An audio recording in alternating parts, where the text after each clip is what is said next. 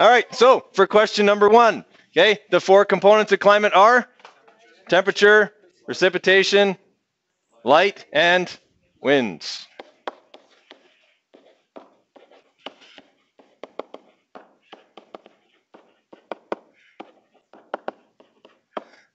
Okay, what is the most important factor affecting climate for any location on Earth? Latitude. Okay, what factors affecting climate would make Victoria's climate most different from Calgary's? Proximity to the ocean would be one. And because it's right beside the ocean, it would have a very low altitude. Okay.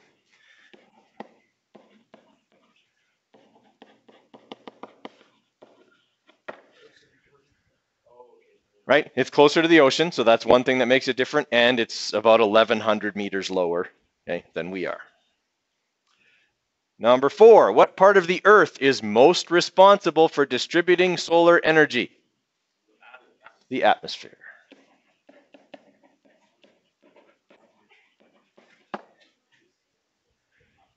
Okay, number five, what process is most responsible for transferring solar energy from one place to another?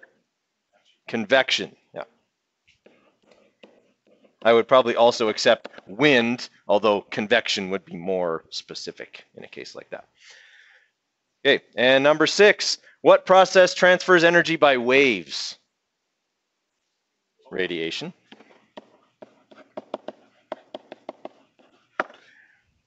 Okay, and within the lithosphere, which is solid, okay, what is what process transfers energy? Conduction. Okay, so we had one question here that was out of four. So we got four, five, six, seven, eight, nine, 10, 11, 11 marks. Okay, so it's out of 11. Give them a mark out of 11 at the top of the page. Make sure your name is on that and pass it in, please. Okay, so we're going over today's specific heat capacity. It's a very simple concept. Okay, there's a, a, formula that goes along with it, but it's super easy to manipulate and solve problems related to. All right. Um, the main reason we go over specific heat capacity is because it's part of one of the factors that affects climate. Okay, and that is proximity to the ocean. When you are close to the ocean, you are near a huge body of water, and water has a very high specific heat capacity. What that means is it takes large amounts of energy to heat water, that is to change its temperature. It also means that if water cools, it loses large amounts of energy. Okay, and that's what keeps the climate of places that are near an ocean kind of regulated. Right? As the air over the ocean cools, there is a lot of energy stored in the ocean. And the ocean can lose energy to the air, but its temperature doesn't change very much okay? Because it has such a high specific heat capacity right? So yes if i add tons and tons of heat water will heat up but not as quickly as other materials okay? Like for example if i have a, a pot of water on the stove okay? The water heats up slowly but the pot does the, the pot gets hot really quick okay? The pot has a very low specific heat capacity. That means very little energy causes a large change in temperature.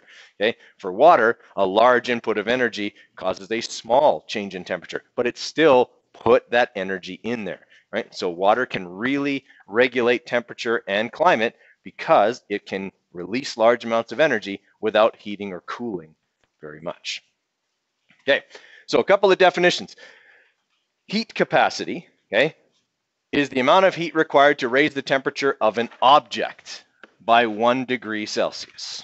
Okay, so heat capacity is the amount of energy required to raise the temperature of an object by one degree Celsius. And we say object because that object may be made of more than one material.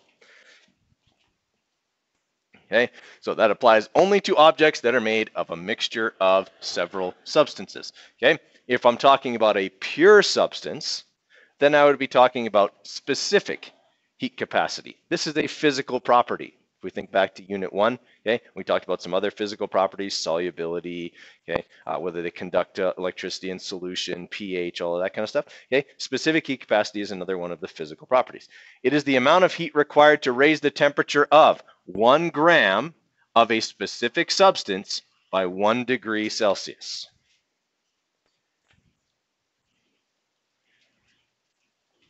Okay, so are we seeing the difference here? Heat capacity is very general. It's the entire object by one degree. Specific heat capacity deals with a specific substance, one gram of it, one degree Celsius. Austin. Uh, no. No, the energy will be in joules, yes. Okay. The specific heat capacity, the units for it are joules per gram degree Celsius. The amount of energy required to heat one gram by one degree. Okay, so the units for specific heat capacity are joules per gram degree Celsius. Looks like I'm getting a cold for Christmas. That's nice. All right, so the formula here, guys, that we would have to use for calculating things to do with specific heat capacity is E equals mc delta T. All right, where E is the energy, m is the mass, in grams. This is a chemistry thing. Okay, so we're back to grams for this. Okay, C is the specific heat capacity. Okay, C stands for capacity, right? And delta T is the change in temperature. So essentially final temperature minus initial temperature. Okay, same as delta has been for absolutely everything else in this course. All right, now um, C, okay, the specific heat capacity, you'll either be asked to calculate what that is or you'll be told what the material is. And in your notes package, there is a chart of specific heat capacity. At least I think I put one in there. Apparently I did not. So I will have to make you one. Okay. Actually, no, it's in your workbook. That's where it is the digital workbook that I put on there. That's where it is. Okay, so there's a list of materials and their specific heat capacities. Okay, for, for a couple of examples, water has a specific heat capacity of 4.2 joules per gram degree Celsius. So to heat one gram, which is one milliliter of water, okay, that, that would be the volume, uh, the, that volume of water would look like about the size of a raisin. Okay, that would be one milliliter of water by one degree Celsius requires 4.2 joules of energy. That's more energy than your cart had when you put it on the top of the ramp in the energy conversion lab. Okay, when we did that energy conversion lab, we found that that cart only had less than a joule of energy at that point. Okay, to heat one gram of water, a tiny little bit, by one degree Celsius requires about six to eight times more energy than that cart had at the top of the ramp. Okay, it's a lot. Okay, heat, energy, or sorry, water can absorb a lot of energy without changing its temperature. Okay, conversely, something like, um, let's see, I'm trying to remember here. It's I think it's iron is like 0.13 joules per gram degree Celsius. Okay, so does iron heat up really fast? It does. Doesn't have you don't have to put much energy into it, and it's going to heat up really quickly. All right. Um, so if you are, let's say, outside and you know you, you touch the side of your car, okay, and it's really, really cold outside. Okay, does it feel really cold on your hands? For how long? Just a few seconds, because very quickly the heat transfers from your hands to the car, okay, and the car warms up. Okay, at least that part of it warms up. Okay, it doesn't take long to heat stuff up. It'd be the same if you picked up like a coin off the off the ground. Okay, when it's really really cold outside, you pick that coin up. The coin feels really cold. You put it in your hand, in about five seconds, it's the same temperature as your hand. Okay, they heat up really quickly because they have low specific heat capacities, right? Whereas if you take a bunch of water in your hand and it's around you know one degree Celsius or so, that's going to stay cold and it's going to make your hands really cold, and you're going to have a hard time keeping your hands in or keeping that water in your hands right? Like if you dunk your hands in like ice cold water, it's hard to hold them there. Incidentally, that's like the, like a manhood test. You can who can hold their hand in the ice water the longest. It's one of the, I don't know. We used to do dumb things when I was young. Okay. All right. So is everyone following this formula here? Okay. In this formula, in the initial setup, everything is being multiplied together. So if I want to solve for anything other than E, what do I have to do with the other stuff? Divide it over to the other side. Is that pretty easy? Okay, the only thing that people screw up when they're manipulating this formula is bracketing. So let's say I'm looking for what the mass is. Okay, I would have E divided by C times delta T. That's got to be bracketed so that you get the bottom number, okay, top number divided by the bottom number, right? Otherwise, your calculator does order of operations, which does not give you the same answer. Usually that's just something we do before, right? I just calculate what the change is and throw it in there, right? Because most questions don't give you final and initial, they just say the temperature changed by this much. Okay, very rarely does a question say find the final temperature of the material. Not, I mean, it's an extra step, but it's not a difficult step. Find delta and then add it to the initial, or find delta and subtract it from the final. Okay, I mean, it's it's not a, a super difficult calculation. Okay, so where we're going with this, guys, with this specific heat capacity stuff, is if I have, let's say, just um, a block of ice, and I start heating it up, what'll happen to the block of ice? Before it melts, right, I got to heat it up to zero. Ice won't melt until it gets to zero. So if I have a block of ice I take out of my freezer, it'd be about minus 15 or 16 degrees Celsius. Okay, so I heat it up, and it will start to melt when it gets to zero degrees Celsius. But the weird thing is, is that while it's melting, its temperature stays at zero degrees Celsius. And so does the water that it's sitting in. As it melts, you have both water and ice coexisting at zero degrees Celsius. Okay? Once all the ice has melted, then the temperature will start to go up. Okay? Until I reach what temperature? 100 degrees. And then it stays at 100 degrees until all the water turns to steam. Okay? And then, if I keep adding heat, the steam will get hotter. And if I keep adding heat to that, eventually it becomes plasma, but that's beyond anything that we're going to talk about. That's you've essentially destroyed the molecular structure of it by then. Okay? So, essentially what that gives us is what we call the heating curve of water. Anytime the temperature is changing, the kinetic thermal energy of the object is changing. Okay? Kinetic thermal en energy is measured by temperature. Okay? So anywhere where the line is going up, there's a delta T. So I could calculate how much energy is being used in these sections here using the formula we just talked about.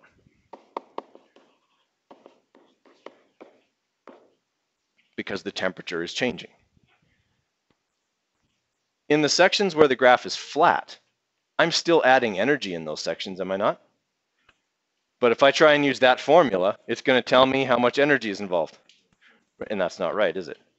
Okay, so at these places, the potential thermal energy of the material is changing. Okay, because when water goes, or any material goes from a solid to a liquid, what's happening to its particles? They're spreading apart, right? Because in a solid, they're packed, okay, and in a liquid, they're further apart. Actually, in water, that's not the case. In water, they're actually further apart than they are when they're in a liquid, but they're in a crystal matrix, so they can't move. Okay, water is one of those weird ones, right? It expands when it when it freezes. Okay, um, so that's what we have there. So during these two sections where I'm changing the potential thermal energy, I have to use a different formula, which we'll talk about later. Okay, but the reason we're going over specific heat capacity is so we know how to calculate how much energy would be involved in these three parts of heating up a material. Good question. No, it doesn't. Okay, water does not have the same heat capacity as a liquid, as a gas, as a solid. It's actually different. One of the few materials that does that. Polar molecules are like that. Okay, um, so for ice, the specific heat capacity is 2.116 joules per gram degree Celsius. For liquid water, 4.2 joules per gram degree Celsius. Okay, and for uh, steam, 2.02 joules per gram degree Celsius. All right, so actually different for each um, state. Does it make sense? Density, yeah, density doesn't have actually anything to do with specific heat capacity, right? Because metals, metals are quite dense, but they have low heat. Well, some metals are quite dense, like aluminum isn't, but it has a low heat capacity. So, yeah. And actually, something with a very high heat capacity is hydrogen gas. Hydrogen gas is like 15 joules per gram degree Celsius. It's got incredibly high. Specific heat capacity, but obviously it's a gas. It's not very dense at all. So. All right, so does that idea there make sense to everybody? All right, so what we're going to do is just go through a couple of examples of manipulating and problem solving to do with this formula, which is super easy. Okay, and if we're good at that, we may move on to looking at these two parts of the heating curve of water. Okay, because that's what we'll be doing when we come back from the break. Okay. All right, so let's try this one. How much heat or thermal energy okay, is needed to raise the temperature of 150 grams of water whose specific heat capacity is 4.2 joules per gram degree Celsius from 5 degrees Celsius to 85 degrees Celsius.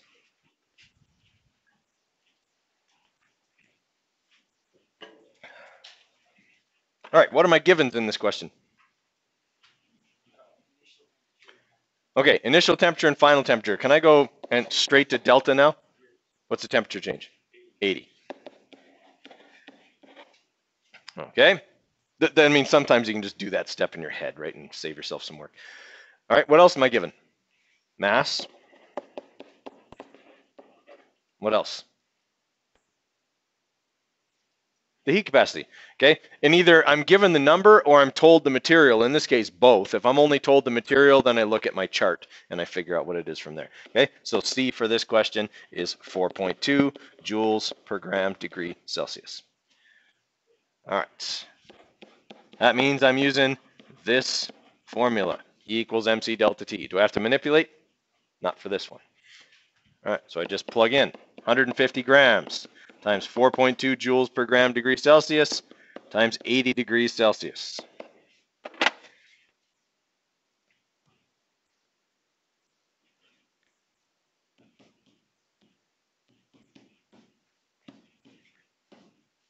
All right, 50,400 joules. Is that a lot?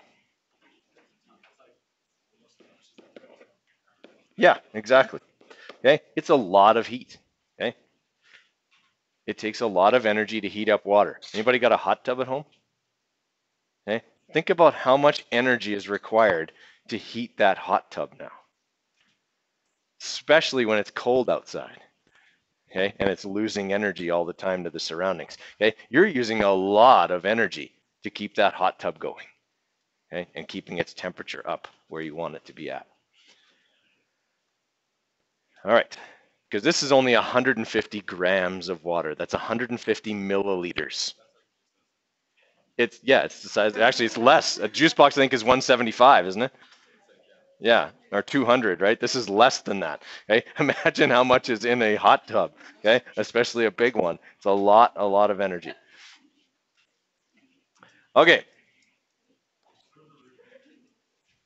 As with all formulas, when I give you a new formula, I go through every manipulation with you. So that's what we're going to do here. Okay. What material is a 100 gram cup made of if it takes 4,200 joules of energy to raise the temperature from 12 to 62 degrees Celsius? What am I looking for here? I'm looking for the specific heat capacity, and then I'll have to compare it to the chart. Okay. So my givens in this are mass, 100 grams, Okay, energy, 4,200 joules. Temperature change, 50 degrees Celsius.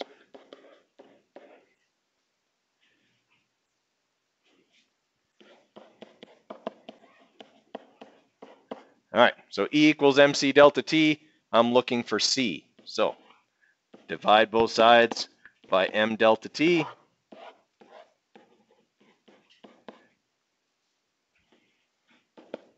So C is going to equal 4,200 joules divided by 100 times 50.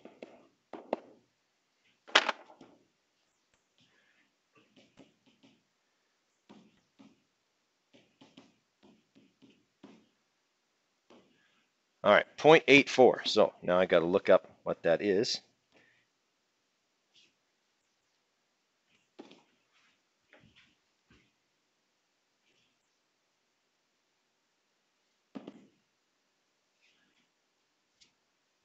So looking at my list here, which is on page whoop, 30, it looks like. Okay. It's glass. Okay, glass has a specific heat capacity of 0.840. Okay, and that's what we calculated here. Okay, when we did this, we got a specific heat capacity of 0.84 as well. So the material is glass. 0.84 joules per gram degree Celsius equals glass. Okay, everybody all right with that one? Austin? No, that's specific heat capacity. Glass is a pure substance. Okay. On your test, it'll be on the front, or I'll put them in the question.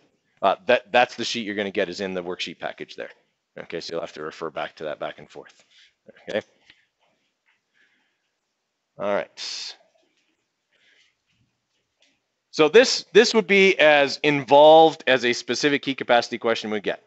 What is the final temperature of a 185 gram block of iron initially at 7 degrees Celsius if it is heated with 200 joules of energy. All right, what am I going to have to find first? Okay, I can look that up. Yeah, 0.13. Yeah, lead and iron. No, iron is 0.460. Okay, so iron's 0.460. Okay, so C is 0.460 joules per gram degree Celsius. Okay, I'm also told the initial temperature, 7 degrees Celsius. Okay, I'm told the mass is 185 grams and the energy is 200 joules. Okay, what do I need to find if I want to find the final temperature?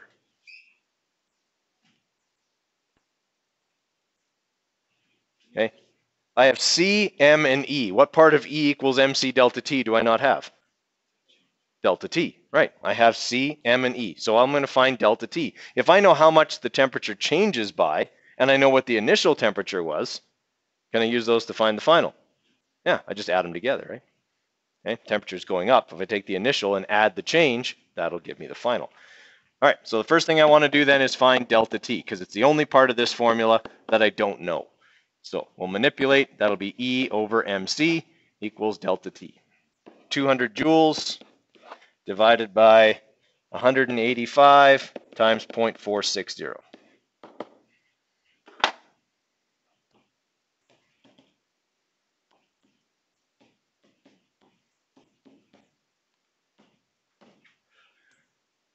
All right, so 2.35 degrees Celsius is the change in temperature. All right, so my final temperature then, okay, I mean if, sorry, we'll do this.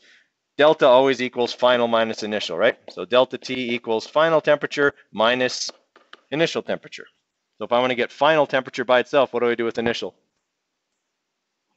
Add it over to the other side. So I've got delta T plus initial T equals final T. So that'll be 7 plus 2.35 equals 9.35 degrees Celsius.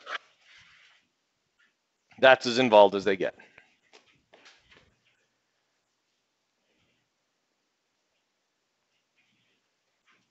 Okay, everybody all right with those? Okay, on that same page that we were just looking at, there are a few heat capacity problems. I want you guys to try a few of those right now. Okay, um, they they start out all asking for the same thing, so they go by section. So like the first five questions all ask you to find C, and then the next ones ask you to find energy and whatever. So you might just want to pick a few at random, like do one, do seven, do, you know, just so you get one kind of from each section. Okay, we'll see how we're doing on those, and if we're doing well, then we'll move on to latent heat right away. Okay, so I'll give you a few minutes on those, and we'll go through any that give you trouble. All right, so let's continue on here, guys, and we're going to talk about the heating curve of water which we've already looked at briefly. Okay, but we're going to talk about latent heat. Okay, now when we talked about latent heat the other day, we said that latent heat is this energy that is stored in water vapor when it moves from one place to another. So the energy it requires to evaporate water from like the surface of a lake or from the ocean or whatever, okay, is stored in the vapor, and then the vapor gets transported by winds or by the jet stream or whatever to a new place. When it condenses, the energy that it had stored is released as sensible heat instead of latent heat, okay, and that area then warms up. And we are talking about a lot of energy because to evaporate one gram of water at 100 degrees Celsius requires 2,260 joules of energy. Is that a lot? Yes, it is a lot of energy. Okay, this is why when you get out of the shower in the morning, you feel chilled. Because every gram of water that evaporates from your body is going to take that much energy from your body to do it. Is that going to cool you off in a hurry? Yes. Okay, that's why sweating works. Okay, sweating is awesome provided you have enough water to support the sweating. Okay, in the desert, sweating will cool you until you dry up like a prune.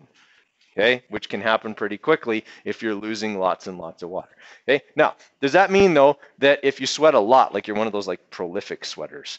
Okay, like I, I used to play basketball with a guy in high school who could not wear his uniform under his warm up during warm up because it would be soaked by the end of warm up. He was just one of those guys who had this slimy, you know, kind of exterior. He if he looked at the sun, he started to sweat, and if he like ran two feet, he just was pouring with sweat. Okay, some people are like that.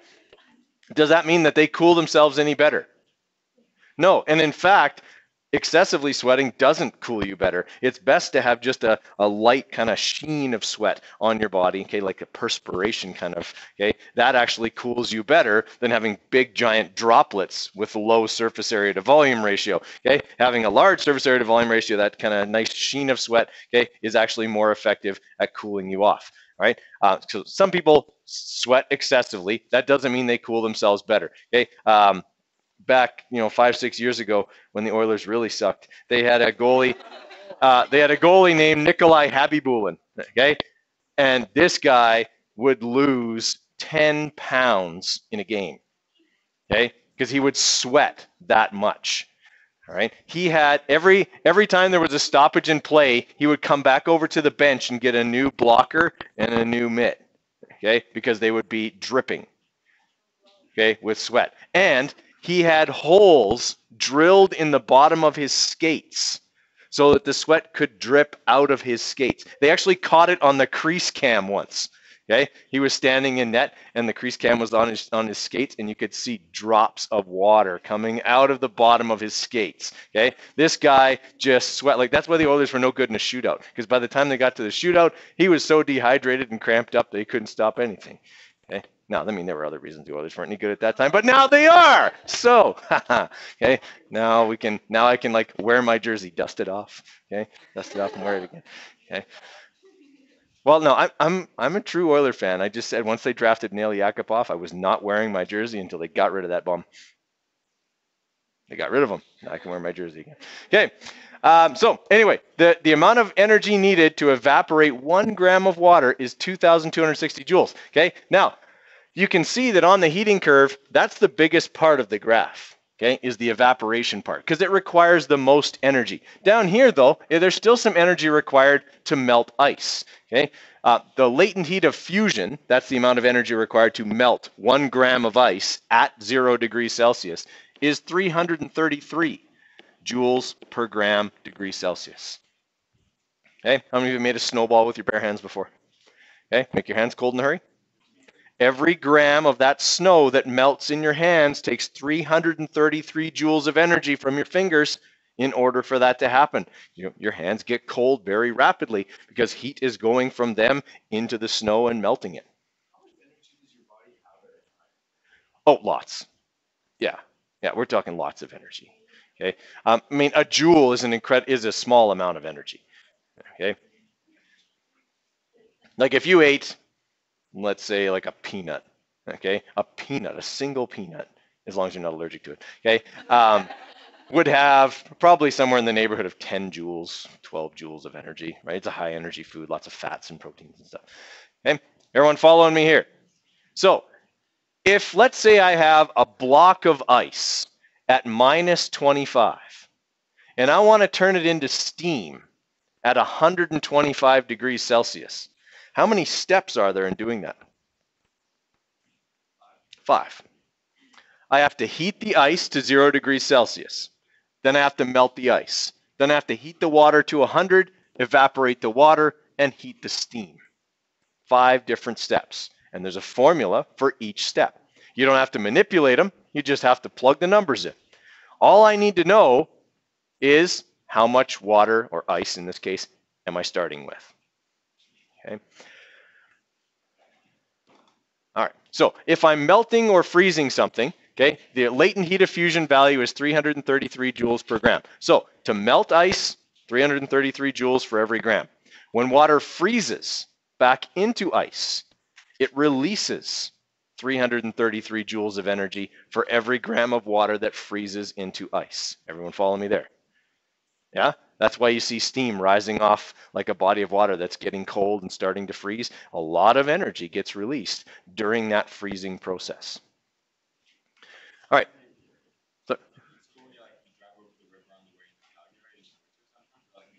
Yeah. A fog, yeah. Okay. And I mean, the bow, when you go over the bow, it's a little bit different because there is a warm water discharge into the bow from the sewage plant okay, and things like that. So that's why the bow very rarely freezes all the way across. Like the sheep will freeze all the way across in most places, except downstream of Okotoks where there's warm water discharge from the sewage plant. Okay, usually kind of right there when you go over 32nd Street. Okay, you guys know what I'm talking about? Okay, when you go over 32nd Street there, there's just a little kind of side channel that comes in right there, and it's never frozen. Okay, that's where the warm water discharge comes out. Okay, and so there's always a little bit of warm water coming in right there. Okay, um, so to figure out to figure out how much energy is required to melt a certain amount of ice, you use this formula. E equals m times LF. LF is the latent heat of fusion, 333 joules per gram. Okay? If it takes 333 joules for every gram, logically I should multiply that number by how many grams I have, and that will tell me the energy involved. Agreed? Okay, if I have 10 grams, it's going to take 10 times 333 in order to uh, melt that ice. All right, is that a pretty easy formula to use? Okay. Same thing goes for evaporating or condensing. Okay, remember we said that energy gets released when a whole bunch of water vapor condenses back into a liquid. Okay, for every gram, it's 2,260 joules. So imagine you've got a big mass of warm, moist air coming up from the equator that contains all this water vapor. Okay, is there going to be a lot of water in there? Yeah. I mean, think about how much water would fall in a typical thunderstorm. Okay? If we get even a centimeter of rain covering an area the size of Okotoks, is that a large volume of water? Yeah. I mean, it doesn't seem like much. It dries up in a hurry and runs off into the gutters and whatever, but it's a lot of water. Think about how much energy was released when that water condensed back into a liquid from a vapor. Okay, for every gram, it was this much energy. So it adds up to a lot. Okay? All right, so in order to calculate the amount of energy needed or given off, okay, it's E equals M times LV.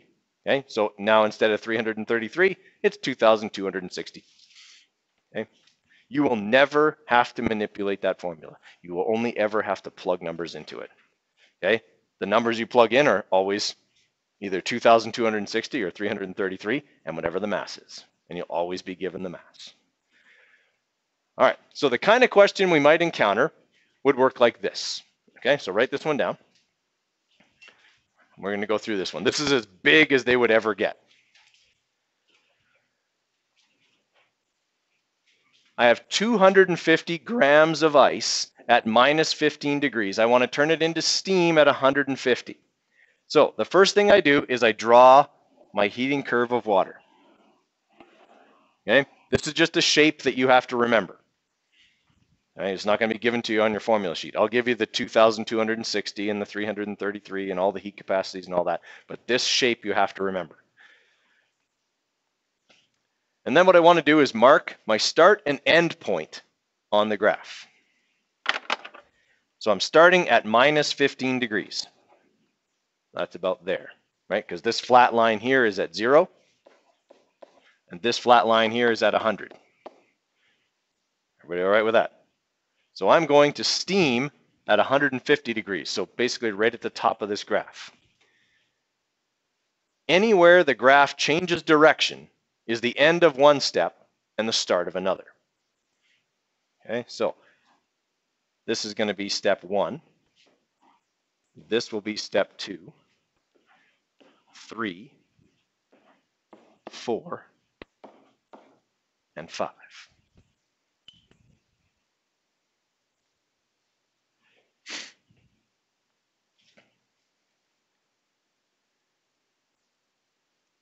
All right, do I have a formula that tells me how much energy is required to change the temperature of some material?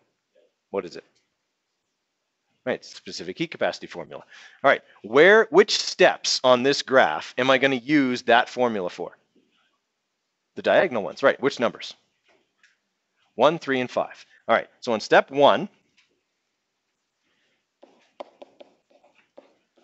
I'm going to use E equals mc delta T. Okay? In step 2, the temperature doesn't change. So I'm obviously not using E equals mc delta T there because it'll tell me no energy was required. And that's actually correct.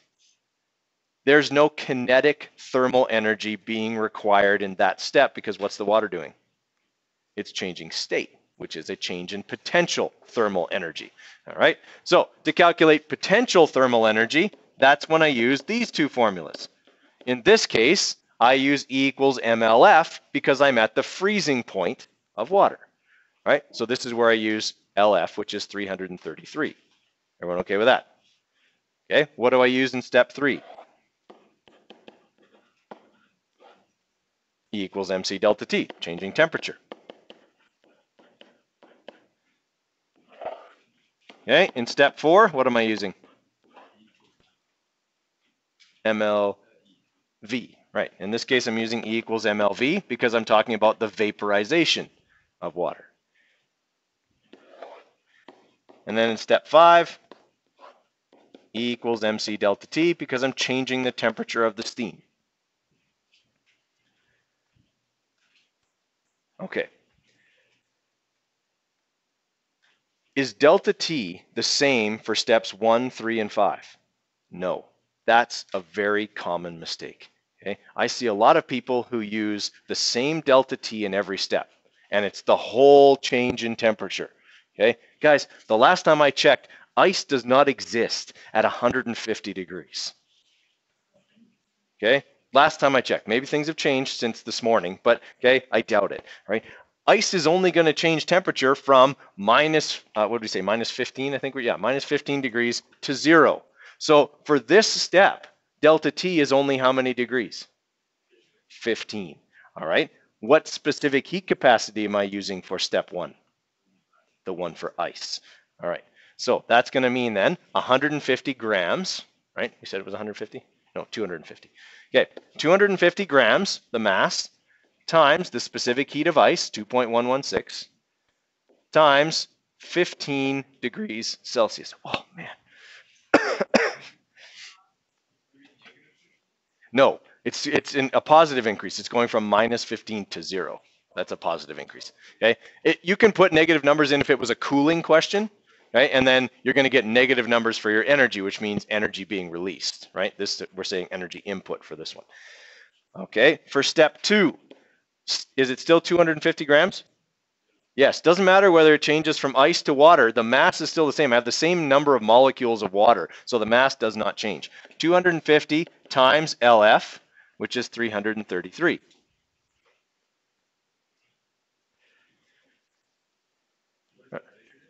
That's joules per gram. Okay, then in step three, okay, I'm still going to have 250 grams, but now I'm going to multiply by 4.2, the specific heat capacity of water. And what's my temperature change in step three? 100 degrees. I'm going from 0 to 100. Okay, in step four, 250 times LV, which is 2,260 joules per gram. And then in step five, 250 times the specific heat of steam, 2.02, okay, times this, the change in temperature. I'm going from 100 to 150, so that's 50 degrees. All right, what do I have to do with all of those? Add them all together. That will be the total energy required. On a test, I would probably not give you a five-step question. It takes too long. I would probably give you a three step question. So, like from ice at minus 25 to water at 80. Okay, that way you would have to go through uh, one potential energy change and two um, kinetic energy changes or vice versa, yeah, something like that. All right, so when we're doing these calculations, okay, so we got 250 times 2.116 times uh, 15. All right, so that's our first step, 7,935 joules. Okay, then we got uh, 250 times 333. So 83,250 joules. Okay, what are you noticing about kinetic energy changes versus potential energy changes? Yeah, potential takes a lot more. To change the state of something takes a lot more energy than to change something's temperature. It's very easy to change kinetic thermal energy. All right, um, for step three, 250 times 4.2 times 100. Okay, so 105,000. Okay, that was a big temperature change though, right? So makes sense that it should be a pretty big number. Okay, then we gotta change the uh, state from liquid to gas, 250 times 2,260. 565,000 joules.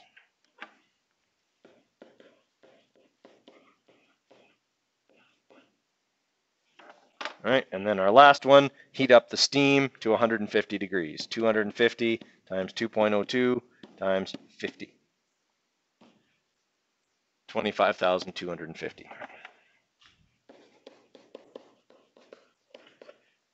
All right, so I add all those numbers together and I'll get my total. So plus 565,000 plus um, 105,000 plus 83,250 plus 7,935. Okay, 786,435 joules. Is that a lot? Yes. Okay, would take a lot of energy to accomplish that. Okay, questions on how that works? We'll work a little bit on that um, when we come back from the break. Okay. Um, when you uh, go on a picnic, let's say, and you take a cooler with you, what do you put in the cooler? Why? Keep the food cold. Well, what couldn't couldn't I just put cold water in there? Yeah. Well, but the ice melts, so whatever's in there is going to get soggy anyway.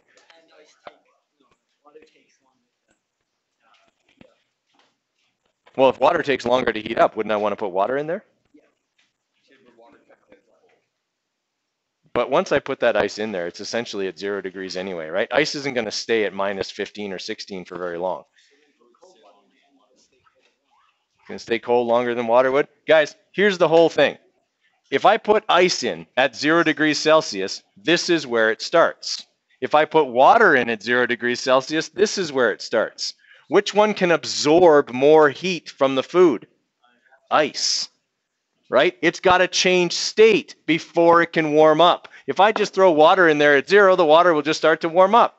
It can't absorb as much energy as the ice, which starts over here. Okay, that's the whole reason for putting ice in the cooler. Okay, it's not that the ice is colder. I could put water at zero degrees in there, but it won't absorb as much energy as the ice because the ice has to change state before it can warm up. Everybody follow on that? That's the kind of like application thing you might be asked to talk about, say on a test. Okay. Now let's uh, quickly, guys, talk about the climatogram thing here.